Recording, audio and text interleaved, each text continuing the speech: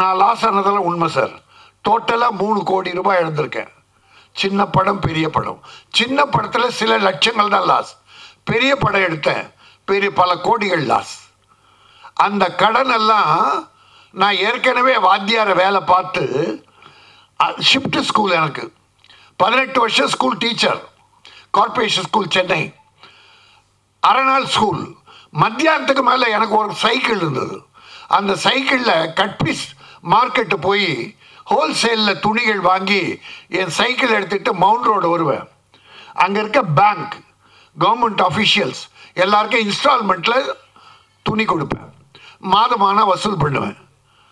அந்த அப்படி அப்போ வாழ்க்கையை நடத்தி குழந்தைகளை காப்பாற்றி வந்தேன். பிறகு பணம்லாம் சேர்த்து படம் எடுக்க ஆரம்பித்தேன் எடுத்த உடனே கொஞ்சம் நல்ல லாசம் வந்தது லாபம் வந்தது. கடைசியில் லாஸ் வந்தது. அதை அந்த அனுபவம் துணி வியாபாரம் பண்ண பாருங்கள் அதை இப்போ மறுபடியும் ஆரம்பித்து K R silk K Rajan silk wholesale பண்ணேன் பேல் பேலாக வாங்கி மாற்றினேன் அப்படி ஒரு ஆறு வருஷம் பண்ணதில் ஒரு பணம் எனக்கு வந்தது. அந்த பணத்தோட என் மீது நம்பிக்கை கொண்ட ஒரு மூணு நண்பர்கள் ஆறுக்கு ஒரு ஆளுக்கு ஒரு கோடி ஒரு கோடி மூணு கோடி. என்னது ஒரு மூணு கோடி? ஆறு கோடியை வச்சு தான் சினிமாவுக்கு ஃபைனான்ஸ் பண்ணிகிட்ருக்கேன் இருக்கேன். அந்த ஆறு கோடி தான் நாலு வருஷம் வட்டி வரல.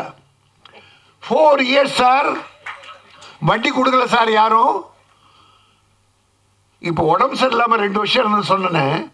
மருந்து வாங்க காசு கிடையாது சார் ஏன்னா கொடுக்கவே இல்லை யாருமே. நான் கொடுத்ததெல்லாம் சின்ன ப்ரொடியூசர்ஸ் ஏன்னா அந்த படம் ரிலீஸ் ஆச்சுன்னா அவங்க கொடுத்துருவாங்க. அதில் ஒரு மூணு பேர் தான் மோசடிக்காரன். மன்னாதி மன்னர்கள். பல பொறுப்புகள் இருக்கானுங்க. அந்த மன்னாதி மன்னர்கள் எனக்கு ரெண்டே முக்கால் கோடி தரணும்.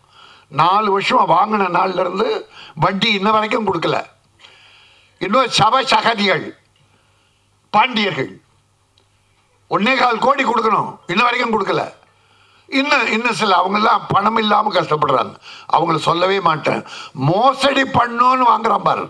அவனை மட்டும்தான் மேடையில் கொஞ்சம் மறைமுக சொல்லுவேன். ஏன்னா வேறு யாரும் திரும்பி அவனுக்கு பணம் கொடுத்துடக்கூடாது. நான் கொடுத்து ஏமாந்ததோடு போதும்.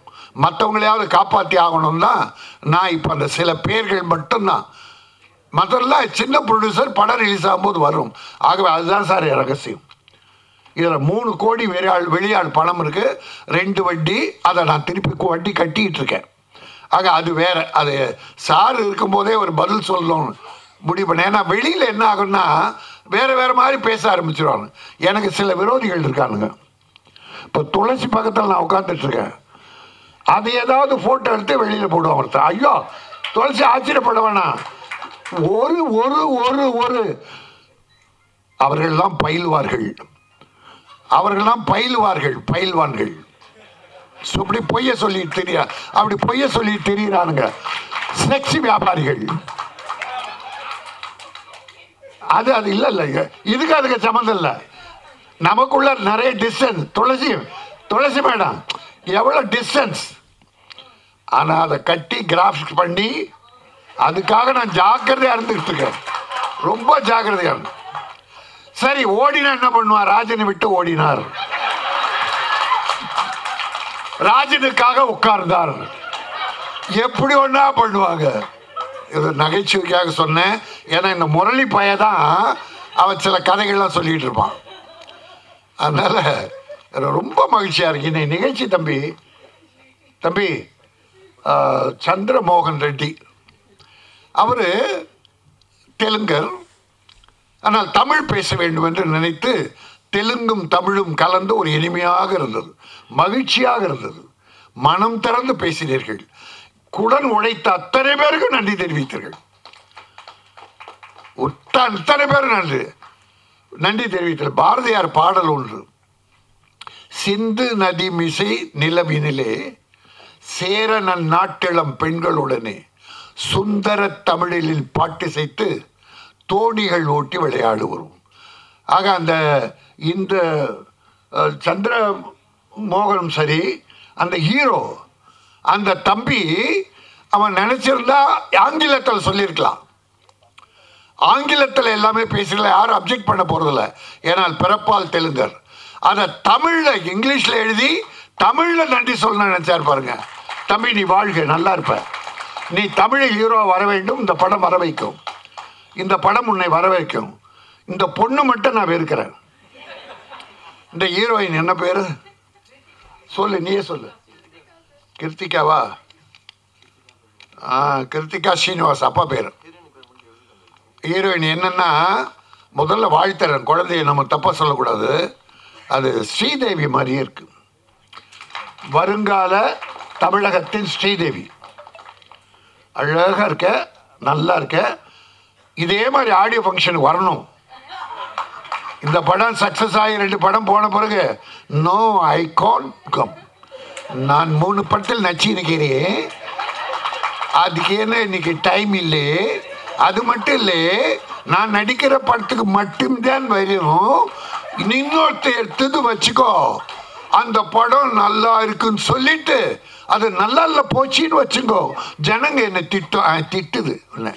நீ நல்லா இருக்குன்னு சொன்னாலும் நல்லா இருக்காது. நீ சொன்னாலே நல்லா இருக்கு. அப்படி சிலர் நான் யாரையும் குறிப்பிட்டு சொல்ல தம்பி ஓவரா கை தட்டி வம்பு பண்ணாதீங்க. நான் யாரையும் குறிப்பிட்டெல்லாம் சொல்ல சார்.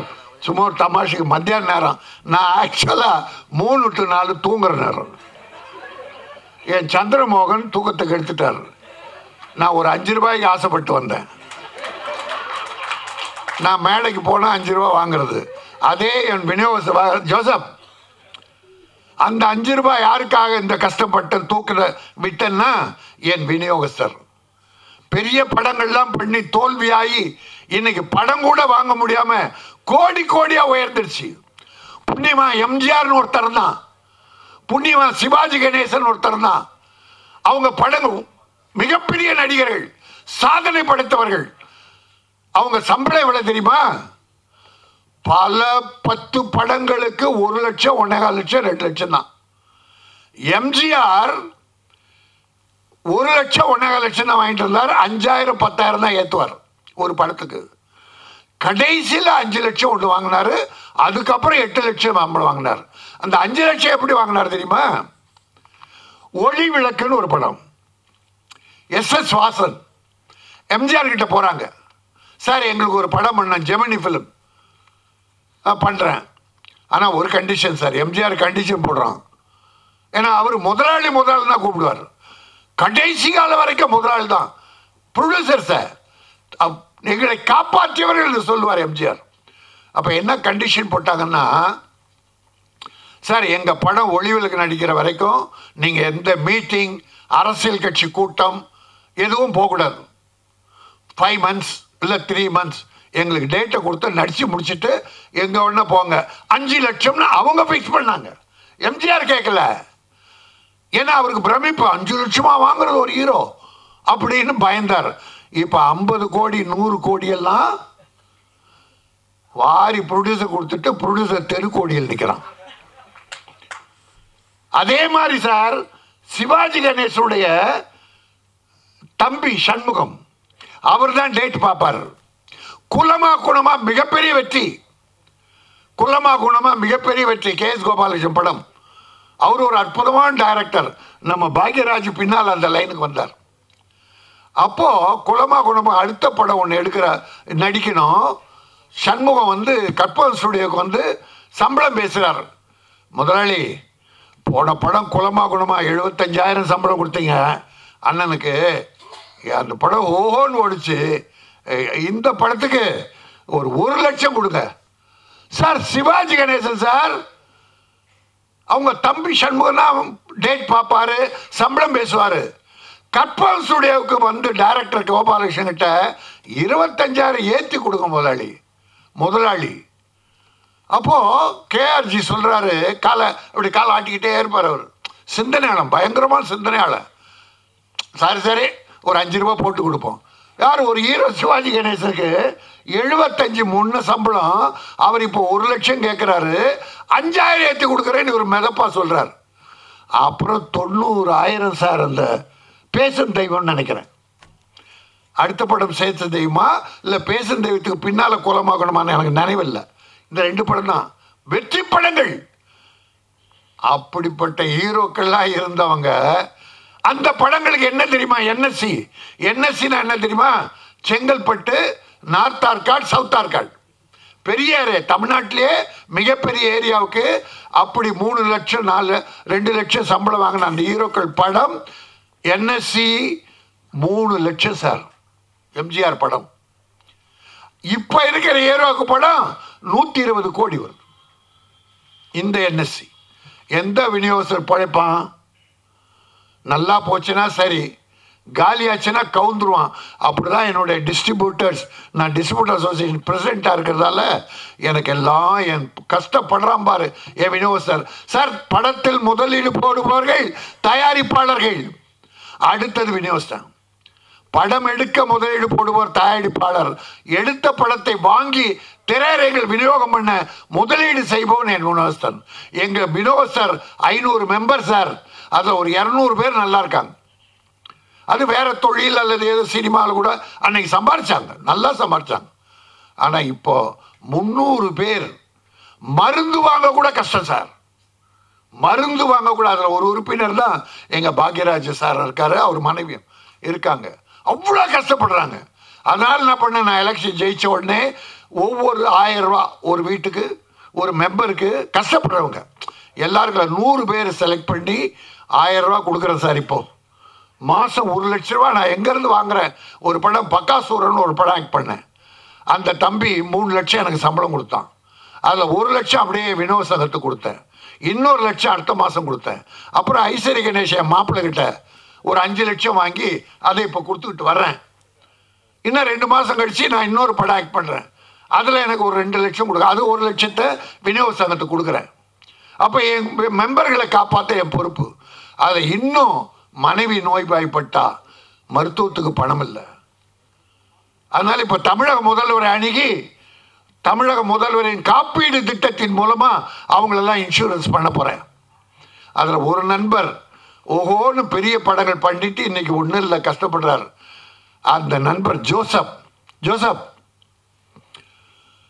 எங்கே ஜோசப்? சார் அந்த கவர் எங்க? அநேகமாக கூச்சப்படுறாருன்னு நினைக்கிறேன். நல்லா வாழ்ந்தவங்க சார். நல்லா ரைட் உங்கள் சார்பில் நான் அவர் கொடுத்துற வருவார் நினைக்கிறேன். இந்த அஞ்சாயிரம் ரூபா அவர் மனைவிக்காக. ஆக அது அது ஒன்று அது இடையில நான் ஒவ்வொரு இதுக்கு அதுக்காக என் ப்ரொடியூசர்கிட்ட நான் இதை வாங்குறேன். வாங்கி அப்படியே அவங்க குடும்பத்துக்கு கொடுக்குறேன். அந்த இந்த நிகழ்ச்சியில் ஒரு தர்மம். சரி இந்த ஆடியோ ஃபங்க்ஷனுக்கு ரெண்டு லட்சம் மூணு லட்சம் செலவாகும். அதில் நியாயமான செலவு ஒரு ஒன்றரை ரெண்டு லட்சம். சில சில வகையில் போகும். அதில் இது ஒரு தர்மம். ஆக அவர் மூலமாக என் பொரு- விநியோகஸ்தர் கிடைக்கிது. ஆக இந்த ஒரு அற்புதமான சாங்ஸ் நல்ல சாங் தம்பி ரதன். அது இயற்கை தமிழன் கும்பகோணத்துக்காரர் தமிழகத்தில் பிறந்தவர். ஆனால் தெலுங்குக்காரங்க அணைச்சிக்கிட்டு அழைச்சி அவர் திறமையை பாராட்டி படங்கள் கொடுத்து சக்ஸஸ்ஃபுல் பிக்சர்லாம் பண்ணியிருக்கார் தெலுங்கில்.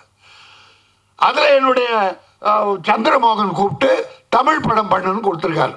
பாட்டுகள் பிரமாதமாக இருக்குது அவர் பேச்சு என்னை ரொம்பவும் கவர்ந்தது. ஒரு சின்ன ப்ரொடியூசருக்கு உதவி செய்கிற பெரும் மனுப்பக்குவம் மனப்பான்மை படைத்தவராக இருக்கிறார். அவர் எடுத்த உடனே என் தாய் வரணும்னு நினச்சேன். ஆனால் அம்மா உடம்பு சரியில்லாமல் வீட்டில் இருக்காங்க. சொன்ன உடனே தாயை தெய்வமாக தந்தையை தெய்வமாக வணங்குற நீங்கள் நிச்சயம் பெரிய ஆள் அவர். மிகப்பெரிய ஆளாக வருவீங்க அதே போல் ஹீரோ கூட அம்மா அப்பாவை அம்மா அப்பாவை வணங்கினார். நான் அவர்களெல்லாம் வணங்குவேன். நான் இந்த பொண்ணை ஏன் திட்டினேன்னா தமிழ் நல்லா பேசுச்சு அழகாக பேசுச்சு. இடையில ரெண்டு இங்கிலீஷ் வார்த்தை விட்டுடுச்சு. தமிழில் வார்த்தை இல்லைன்னா இங்கிலீஷுக்கு போனேன் தமிழே பேசு. தமிழ் உன்னை அணைக்கும் ஆதரிக்கும் வளர்க்கும். அப்புறம் நீ இந்திக்கு போ ஸ்ரீதேவி மாதிரி. போனிக்கு அப்புறம் கல்யாணம் பண்ணிக்காத. நல்லாவா நல்லா இருக்கு. எனக்கு ரொம்ப அந்த பாப்பா அந்த குழந்தையோட முகம் ரொம்ப சாமியாக நல்லா இருக்கு. ஹீரோ ஹேண்ட்ஸம் ஹீரோ நீங்கள் ரெண்டு பேரும் நல்லா வரணும் நம்பி அது என் தமிழ் திரையை உங்களை முதல்ல ஆதரிக்கணும். தெலுங்கு நல்லா இருக்கு சார் தெலுங்கு நல்லா இருக்கு. தமிழை கடித்தவர்கள் இப்போ தெலுங்குக்கு போயிட்டு இருக்காங்க இந்த படம் வெற்றி பெற வேண்டும். என்னை மாற்றும் காதலை. காதல் பல பேரை மாற்றியிருக்கிறது. காதலியுங்கள். காதலியுங்கள். மனம் முட்டு காதலியுங்கள். எதிர்ப்பு பெற்றோர் தெரிவித்தால் பெற்றோரை மாற்றுங்கள். பெற்றோரை விருப்பப்படச் செய்யுங்கள். பெற்றோரை சமாதானப்படுத்துங்கள். அவர்கள் விருப்பத்தோடு காதலித்து கல்யாணம் செய்து கொள்ளுங்கள். ஆனால் பெற்றோர்களே இந்த மணமக்களின் காதல் பிடிக்கலன்னா அறிவாளை கொடுத்து வெட்டி நடுத்தரில் வீழ்த்தாதீங்க. அது நிறைய நடக்குது தமிழ்நாட்டில். ஆணவ கொலைன்னு பேர் வச்சிருக்கான் அதுக்கு. அந்த நிகழ்ச்சி தமிழகத்தில் மட்டுமல்ல எங்குமே நடக்கக்கூடாது. இது ஒரு அற்புதமான காதல் கதை. லொகேஷன்ஸ் பியூட்டிஃபுல் லொக்கேஷன்ஸ் கேமரா பிரமாதம். அது கொடுத்த ரீ ரெக்கார்டிங் அற்புதம் எடிட்டிங் அத்தனை பேரும் இணைந்து அற்புதமாக செய்திருக்காரு சந்திரமோகன் உங்கள் மனம் வாழ்க. வெற்றி பெறுவீர்கள். உங்கள் குழந்தை கல்யாணம் ஓஹோ நடக்கும். இந்த பணத்தில் இதில் வெற்றி பெற்ற பணத்தில் குழந்தையுடைய கல்யாணத்தை அற்புதம் நடத்துங்க. வெங்கடேச பெருமாள் உங்களுக்கு துணை இருப்பார். அவருடைய இவன் சொன்ன மாதிரி இவன் அல்வா கொடுப்பான் எல்லாருக்கும். இவன் போயிட்டு வந்தால் திருநெல்வேலி பக்கம் போயிட்டு வந்து அல்வா வாங்கிட்டு வந்து கொடுப்பான். ஆனால் திருப்பதி வெங்கடேச பெருமாள் யாரையும் கைவிட்டதில்லை. வாழ்க என்னை மாற்றும் காதலே என் தயாரிப்பாளர்களை மிக உயர்த்த வேண்டும். அவர் லாபம் பெற வேண்டும். அதனால் பல தமிழ் படங்களை அவர் எடுக்க வேண்டும். என் தொழிலாளிகளுக்கு வேலை கிடைக்க வேண்டும். நன்றி வணக்கம்.